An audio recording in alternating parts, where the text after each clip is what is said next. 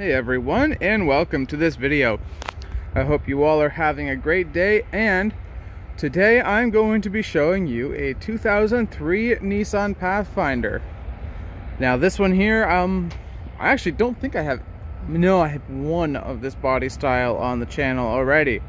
Um, now fun fact for you guys, uh, I started doing these junkyard videos given I wasn't great at them at first, I, will admit that, in about 2011.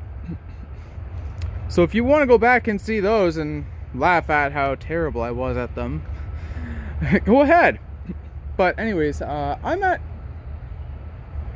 Pick and Save in Hamilton. Now, sorry, I got confused there for a second because I go to so many yards. Now this one here looks like it was repainted white at some point. Not a terrible paint job, but definitely not great. I prefer the original blue it was, because the blue is much nicer of a color than this basic white. And they definitely could have done a better job at masking it off. Little issues in the paint everywhere it looks like. And it was not done inside the pillars and everything either. So everything else is blue still says 03 on the window, but uh, let's see what it says on the sticker. 1202, so yes, this would make that would make this a 2003. Very cheap feeling headliner. Honestly, not terrible looking seats. The quality of the materials isn't too bad. I kind of like this gauge cluster. The portal gauge cluster is kind of cool. So one has a CSCS Racing sticker on the dash, and of course this has four-wheel drive.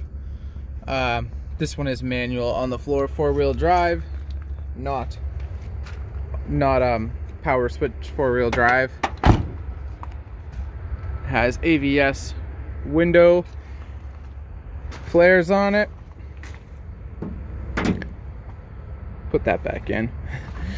So there was covers on these. Someone just needed one of them, it looks like. Looks like the fuel pump for it. And there's the fender flare for that side. Drive shaft looks to be out. Filler neck's out. I have a feeling this had a fuel system problem, judging by the fuel pump being out and all the cladding underneath the, uh, well, four underneath the body being out. A little bit of rust bubbling on the tailgate, which means it's more serious underneath, but it's really not too bad. Here's more of that blue. That's actually a really nice blue underneath. I don't know why someone would paint over it. Especially with a white. The blue looks really good. But there is why it's here. Ah, that definitely took it off the road. It probably had full coverage on it and then this oopsie happened. I don't know if it was their fault or the other person's, but it happened. And it's here now.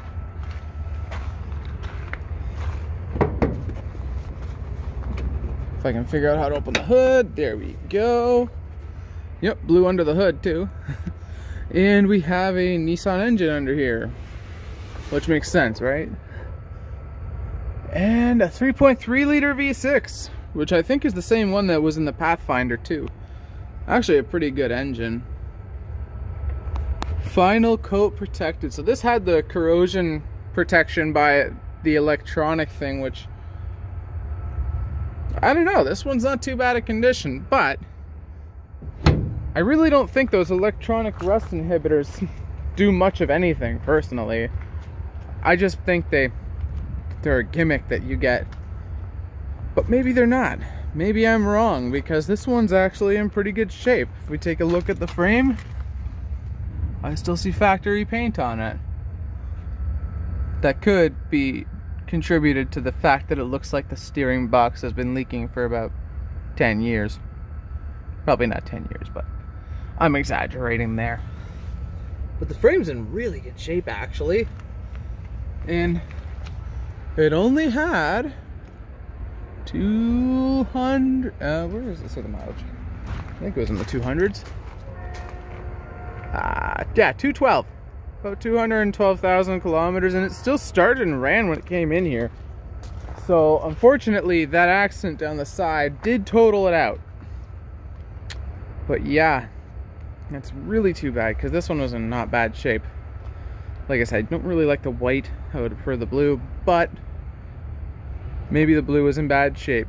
Maybe they did some body work and just repainted the whole truck themselves in the backyard over a weekend or two. So that could be what happened. Anyways, thanks for watching. If you enjoyed this video, please hit that like button as well as subscribe for more. Have a great day, everyone.